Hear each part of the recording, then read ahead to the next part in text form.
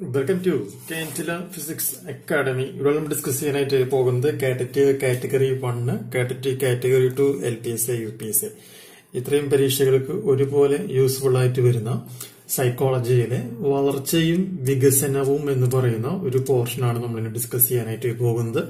ഇതിനു മുമ്പ് ഇതിന്റെ ബേസിക് ആയിട്ടുള്ള കുറെ കാര്യങ്ങൾ എക്സ്പ്ലെയിൻ ചെയ്യുന്ന വീഡിയോസ് നമ്മൾ ചെയ്തിട്ടുണ്ട്. അതിന്റെ ലിങ്ക് എല്ലാം അടങ്ങിയിട്ടുള്ള ടെലിഗ്രാം ചാനൽ അതിന്റെ ലിങ്ക് ഞാൻ ഡിസ്ക്രിപ്ഷൻ ബോക്സിൽ കൊടുക്കാം. താല്പര്യമുള്ളവർക്ക് അതിൽ ജോയിൻ ചെയ്യാം.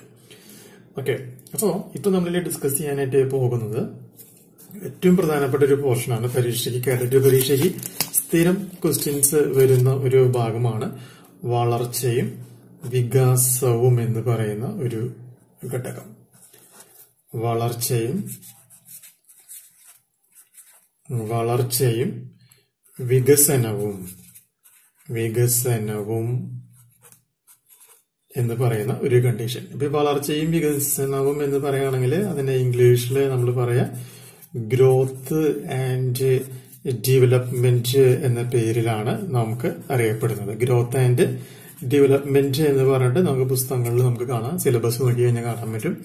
സോ എന്താണ് വളർച്ചയും വികസനവും എന്ന് പറയാൻ നമുക്ക് നോക്കാം.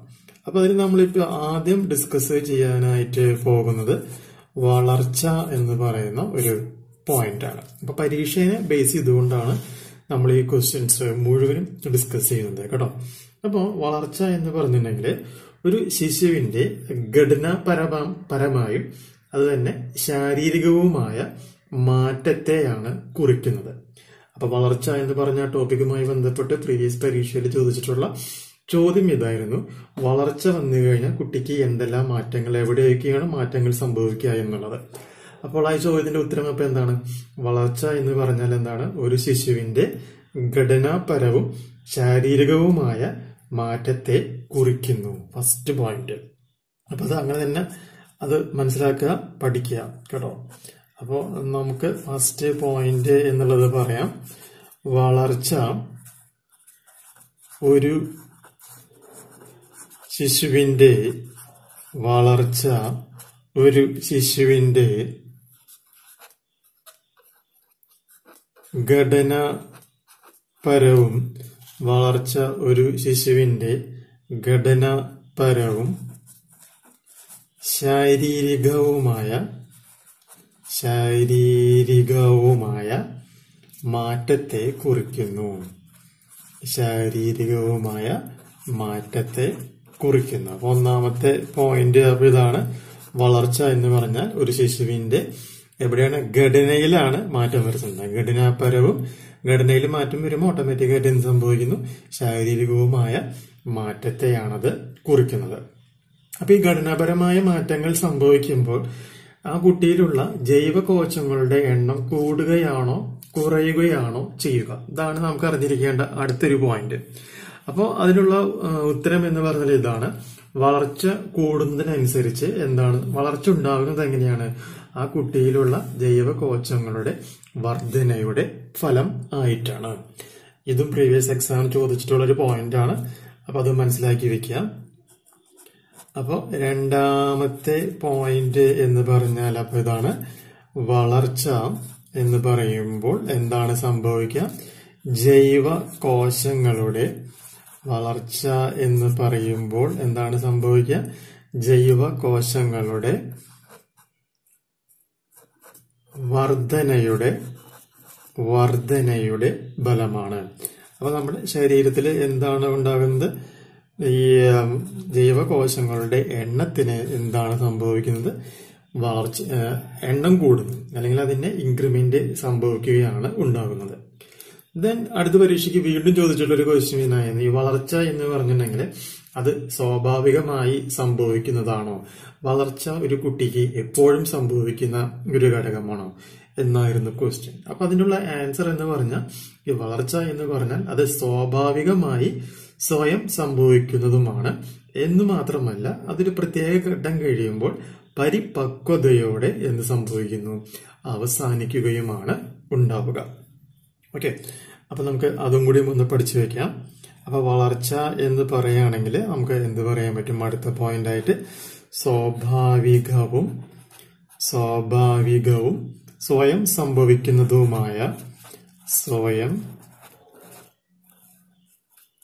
സംഭവിക്കുന്നതുമായ സ്വയം സംഭവിക്കുന്നതുമായ പ്രക്രിയയാണ്.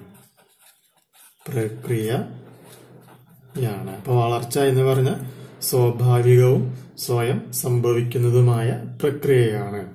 പിന്നെ അത് എന്താണ് സംഭവിക്കുക? അതിന് അവസാനമുണ്ടോ എന്നുള്ളതാണ് അടുത്ത പോയിന്റ് അപ്പൊ ഓട്ടോമാറ്റിക്കായിട്ട് നമുക്ക് എന്ത് പറയാൻ പറ്റും? അതിന് എന്തുണ്ട്? ഒരു അവസാനം സംഭവിക്കുന്നുണ്ട്. അപ്പൊ നമുക്ക് എന്ത് പറയാൻ പറ്റും? പരി പക്വതയോടെ പരിപക്വതയോടെ വളർച്ച അവസാനിക്കും. പരിപക്വതയോടെ വളർച്ച എന്ന് പറയുന്നത് ഒരു ഘട്ടം കഴിയുമ്പോൾ എന്തായിട്ട് മാറുകയാണ് ചെയ്യുക?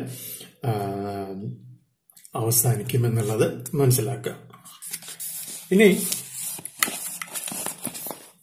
നെക്സ്റ്റ് പോയിന്റ് ഇതാണ് ഈ വളർച്ചയുടെ സവിശേഷതകൾ എന്തൊക്കെയാണ് എന്നാണ് ചോദ്യം. എന്ന് പറയുമ്പോൾ ഒന്നാമത് പോയിന്റ് വളർച്ച എന്ന് പറയുന്നത് വളരെ സിമ്പിളായിട്ടുള്ള ഒരു പ്രക്രിയയാണോ? അല്ലെങ്കിൽ അതൊരു സങ്കീർണമായ പ്രക്രിയയാണോ എന്നുള്ളതാണ് അടുത്ത ക്വസ്റ്റ്യൻ അപ്പോൾ നമുക്ക് വളർച്ചയുടെ കേസിൽ പറയാനായിട്ട് സാധിക്കും. അതൊരു സങ്കീർണമായ സങ്കീർണമായ പ്രക്രിയയാണ് അപ്പൊ വളർച്ച എന്ന് പറഞ്ഞാൽ അടുത്ത പോയിന്റ് എന്താണ്? അതൊരു സങ്കീർണമായ പ്രക്രിയയാണ് എന്നുള്ളത് മനസ്സിലാക്കുക. ഇനി വളർച്ചയെ സ്വാധീനിക്കുന്ന രണ്ട് ഘടകങ്ങൾ എന്തൊക്കെയാണ് എന്നുള്ളൊരു ചോദ്യം വരികയാണെങ്കിൽ പഠിച്ചിരിക്കുക. ഒന്നാമതായിട്ട് സ്വാധീനിക്കുക പാരമ്പര്യം. പ്ലസ് എന്താണ്? പരിസ്ഥിതി. അപ്പൊ പാരമ്പര്യവും പരിസ്ഥിതിയും എന്ത് ചെയ്യുന്നുണ്ട്? വളർച്ചയെ സ്വാധീനിക്കുന്ന ഘടകങ്ങൾ ആണ് എന്നുള്ളത് മനസ്സിലാക്കാം. ഇനി അടുത്ത പോയിന്റ് എന്ന് പറയുന്നത് അതിനൊരു പ്രത്യേക ഒരു സ്വഭാവമുണ്ട്. ആ സ്വഭാവത്തിനെ പറയുന്ന പേരാണ് സഞ്ചിത സ്വഭാവം എന്നാണ് പറയുക അപ്പൊ അടുത്ത പോയിന്റ് ആയിട്ട് മനസ്സിലാക്കിയിരിക്കുക വളർച്ച എന്ത് സ്വഭാവം കാണിക്കും എന്ന് പരീക്ഷയ്ക്ക് വന്നിട്ടുണ്ടായിരുന്നു. അതിന് എന്ത് സ്വഭാവമാണ് ഉണ്ടാവുക? സഞ്ചിത സ്വഭാവം പുലർത്തും സഞ്ചിത സ്വഭാവം പുലർത്തും. ഓക്കെ അപ്പോൾ ഇതാണ് ഇതിന്റെ ഒരു ഏറ്റവും ബേസിക് ആയിട്ടുള്ള ഒരു ഘടകം എന്ന് പറയുന്നത്. ഇനി നമുക്ക് ഈ എന്താ പറയാ ഇതുമായി ബന്ധപ്പെട്ട് ഇനി പറയാനുള്ളത് ഈ വളർച്ച എന്ന് പറയുന്നത് വികസനത്തിനെ സ്വാധീനിക്കുമോ എന്നുള്ളതാണ് ഒരു ചോദ്യം. സംഭവം ശരിയാണ്. വളർച്ച എന്തിനും കൂടി കാരണമാകുന്നുണ്ട്. വികസനത്തിനും കാരണം ആകുന്നുണ്ട്. അപ്പൊ അടുത്ത പോയിന്റ് ആയിട്ട് പഠിച്ചിരിക്കാം വളർച്ച വികസനത്തിനു വളർച്ച വികസനത്തിനു കാരണമാകാം. കാരണമാകാം എന്നുള്ളൊരു പോയിന്റ് ഓർത്തിരിക്കുക. ഇനി അടുത്തത് എന്ന് പറയുന്നത് വളർച്ച എന്ന് പറയുമ്പോൾ വളരെ പ്രധാനപ്പെട്ട മറ്റൊരു പോയിന്റ് ആണ്. വളർച്ച എന്ന് പറയുകയാണെങ്കിൽ അത് പരിമാണികമാണ് എന്നുള്ളത് മനസ്സിലാക്കണം. വളർച്ച എന്ന് പറഞ്ഞിട്ടുണ്ടെങ്കിൽ അതെന്താണ്? പരിമാണികമാണ്. ഇപ്പൊ നെക്സ്റ്റ് പോയിന്റ് ആയിട്ട് മനസ്സിലാക്കുക. വളർച്ച എന്ന് പറഞ്ഞിട്ടുണ്ടെങ്കിൽ എന്താണ്? പരിമാണികമാണ്. പിന്നെ നമ്മൾ പറഞ്ഞിട്ടുണ്ടായിരുന്നു വളർച്ച എന്ന് പറയുന്നത് ഒരു പരിപക്വത എത്തിക്കഴിയുന്നതോടുകൂടി അത് അവസാനിക്കും എന്ന് നമ്മൾ പറഞ്ഞിട്ടുണ്ടായിരുന്നു അല്ലെ?